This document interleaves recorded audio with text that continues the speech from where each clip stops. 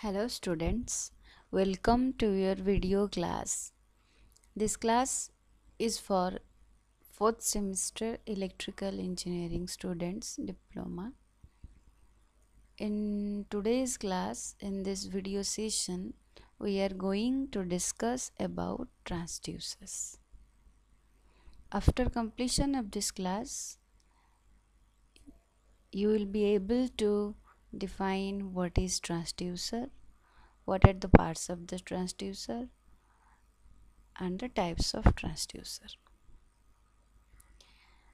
In generally, in normal layman language, we can say a transducer is an electronic device that converts uh, energy from one form to another and in the way which the conversion of energy takes place from one form to another is known as transduction.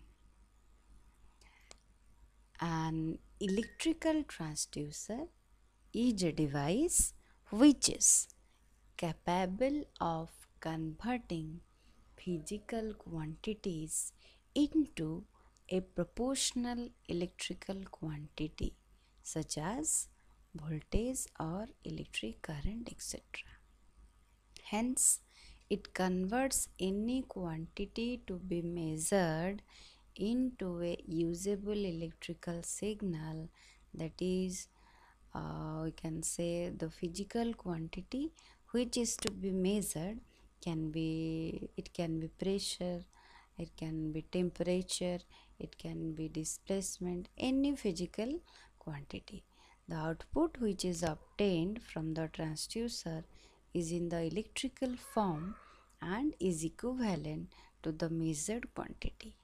We can take an example a temperature transducer which convert temperature to an equivalent electrical potential.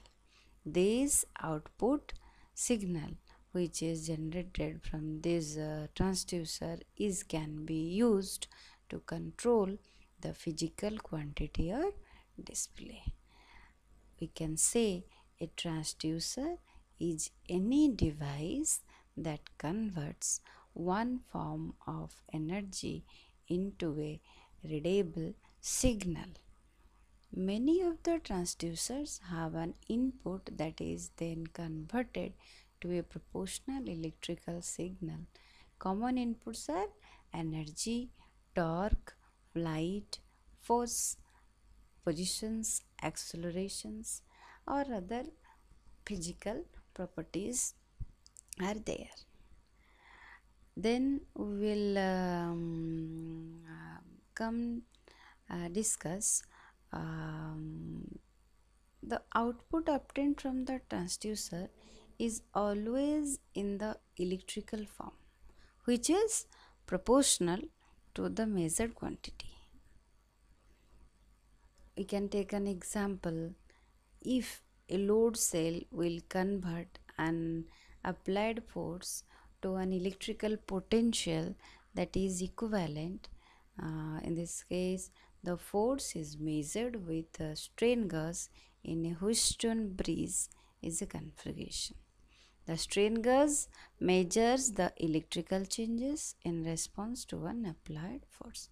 These are all about a general idea about the transducer. Instrumentation is the heart of industrial application. Instrumentation is the art and science of measuring, controlling different variables such as we can say instrumentation is the art of measuring, controlling different variables such as flow, label, temperature, angle, displacement, other etc. variables. A basic instrumentation, instrumentation system consists of various devices. One of the device uh, we can say we can take an example is a transducer. A transducer which plays a very important role in any instrumentation system. Next we will um, cover uh, what are the sensing element we can say um, some common uh, sorry um, what is uh, the part of the trans transducers first of all in this section we see that a transducer generally consists of two important parts. First is your, we can say a transducer generally consists of two important parts. One is sensing element, another is transduction element. Here you can see this is the sensing element and this is the transduction element.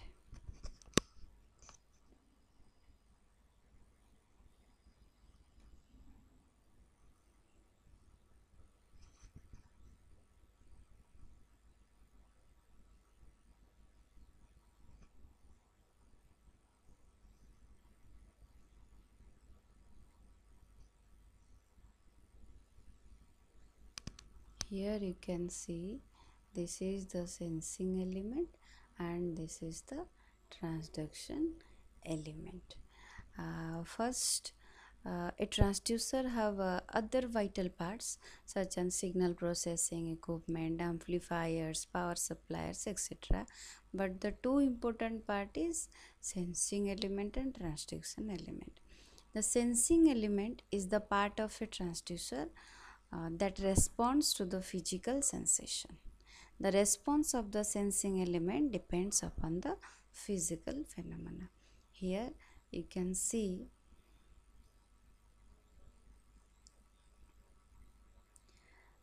sensing element It is the part of the transducer that responds to the physical sensation that response of the sensing element depends on the physical phenomena. Next your transduction element. Already we have discussed what is transduction. The process in which a transducer um, transfer the signal one form to another form that is known as trans um, transduction process. The transduction element of the transducer converts the output of the sensing element into an electrical signal. The transduction element is also called the secondary transducer. Normally, we can say um, the sensing element and transduction element are the um, important part of a sensor. Next, uh, we will uh, discuss about the types of transducers. Now we will discuss about uh, the classification of transducer. The transducers are mainly uh, divided into various types. Uh, some of them are active transducer. One is active transducer another is analog transducer uh, on the basis of transduction principle used they are divided on the primary and the secondary transducers and the next is transducer and inverse transducers resistive transducer in detail we will discuss about all these transducer first we will discuss about what is active transducer active transducer. These transducers do not need any external power source for its operation. So it can be called as self-generating type transducer and they operate under the energy conversion principle. So it doesn't require any external power source and produce an analog voltage or current when stimulated by some physical form of energy. we can take example of active transducers. Is a thermocouple is a photovoltaic cell is a thermopiles or is a piezoelectric. Next we will discuss passive transducer. This type of transducer needs an external power source for energy conversion mostly a DC power supply or an audio frequency generator is used as an external power source and the variation in the resistance capacitance and inductance is um, differential um, is we can say is the output signal in response to the quantity being measured. Next we can take example of passive transducers are thermistor strain gauge resistance strain gauge differential transformer etc. Next we will discuss what is a primary and secondary transducer. Primary transducers have uh, certain transducers have mechanical as well as electrical device the mechanical device which converts the physical quantity to be measured into a mechanical signal and such mechanical device is called as primary transducer and they deal with the physical quantity to be measured. The electrical device uh, then converts the me mechanical signal into a corresponding electrical signal. Such electrical signal are called secondary transducer. When the mechanical device convert the physical quantity to be a measured mechanical signal, such mechanical device is called as physical quantity sorry physical transducer. And the electrical device when a electrical device converts the mechanical signal into a corresponding electrical signal such electrical signal are called secondary transducer vice versa. Each both are um, complementary to each other.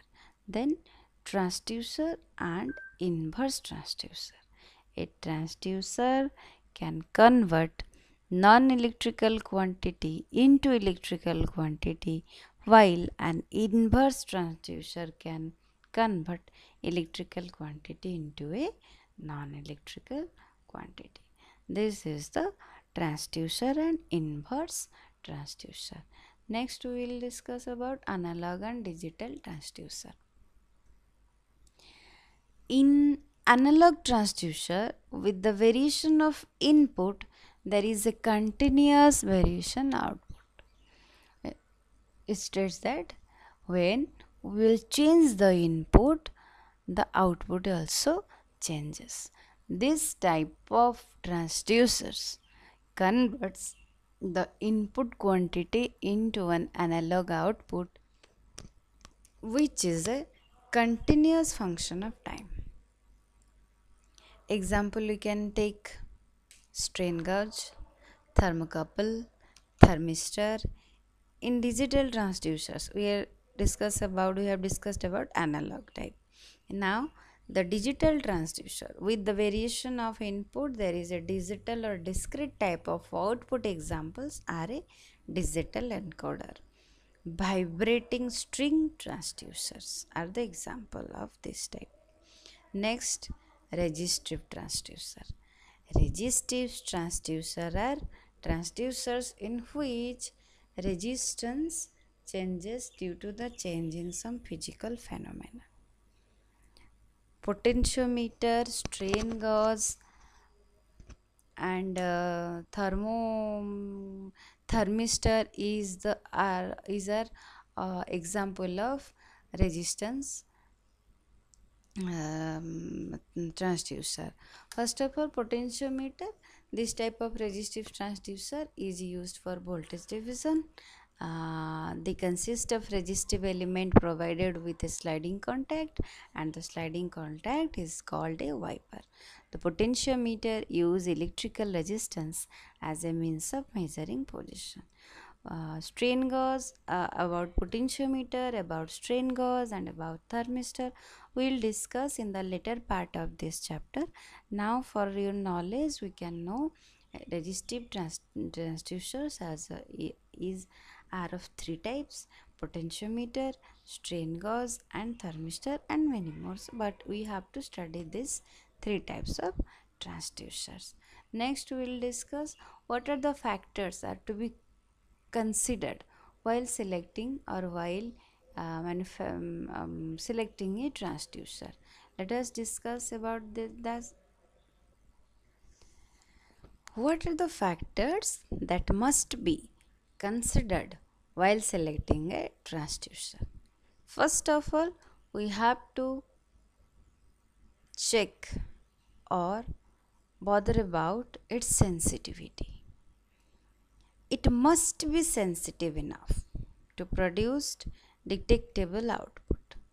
While selecting a transducer, we have to focus about its sensitivity.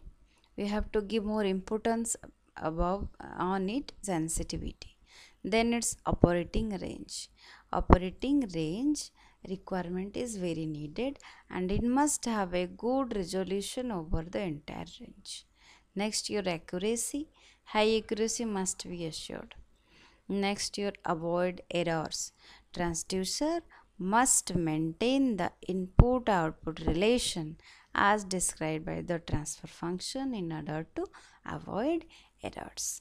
Accuracy and errors uh, um, uh, should be avoided and accuracy must be maintained while selecting a transducer. These factors are given to be more emphasized while selecting a transducers. According to the operating principle, mostly transducers are selected according to the operating principle used by them and the used operating principle could be resistive or could be inductive or could be capacitive or piezoelectric. Transient and frequency response. It should be meet the desired time domain specification. Likewise, your rising time, settling time, small dynamic errors, these are to be uh, specifically maintained. Next, your loading effects. To avoid loading effects, a transducer should have high input impedance and low output impedance. Next your environmental compatibility. The selected transducer must be compatible with the environmental conditions and it must maintain its input and output relation and must not break down. Next, avoid unwanted signals. The transducer should be able to avoid or less sensitive to unwanted signals and it should be highly sensitive to the desired. Now, we will discuss about what is the difference between a transducer and a sensor. These two words are very closely related but somehow there is certain differences. There are different type of sensors available and can be used for remote sensing such as the most general example as the motion sensor which is used in numerous systems such as automatic doors, security, lights, they send some kind of signal like ultrasonic waves, microwaves, or light beams, or sense when there is an interruption of the flow. The type of input and output of the transducer being used depends upon the kind of signal and sensed or controlled. Now we'll discuss what is the main difference, significant different difference.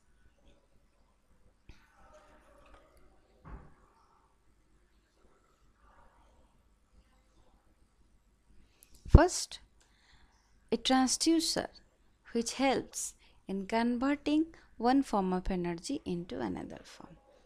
But transducer, it sends the physical quantity and converts into signal which are ready by the instrument. Next year, secondly, the transducer converts electric electricity to electromagnetic waves and a sensor which sends physical quantity and converts into an analog quantity. In case of transducer, the antenna is one type of transducer. Microphones, lights, loudspeakers are also one type of transducers. One type of sensor is LED. Sensors used in automobiles to detect touch and active the siren. Next year, transducer converts the measured quantity into a standard electrical signal. Like we can take uh, 10 to minus 10 to plus 10 DC volt.